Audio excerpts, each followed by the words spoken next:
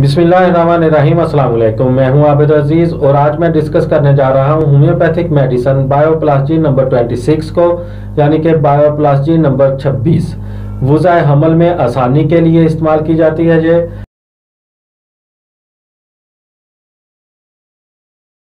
अगर इसमें मौजूद बायोकेमिक साल्ट कम्बिनेशन को देखा जाए तो इसमें शामिल है magnesium phos three X, calcarea phos three X, Kali Phos three X Calcarea Fluor three X, ये बराबर मकदार में इसमें शामिल की गई है। अगर दौरान हमल इस्तेमाल कर ली जाए तो जचकी के वक्त दर्द ज़ा में आसानी पैदा होकर वज़ा हमल में आसानी हो जाती है। नेज़, ये कि ये दवा दौरान हमल बच्चे की नशो में मदद और हमल के बाद बच्चे को सेहतमंद रखने में अहम करदार अदा करती है। अगर इसकी खुराक के बारे में देखें तो चार गोलियाँ एक ही वक्त में, दिन में चार मरतबा हर तीन घंटे के वक्फे के साथ इस्तेमाल करवाई जा सकती हैं।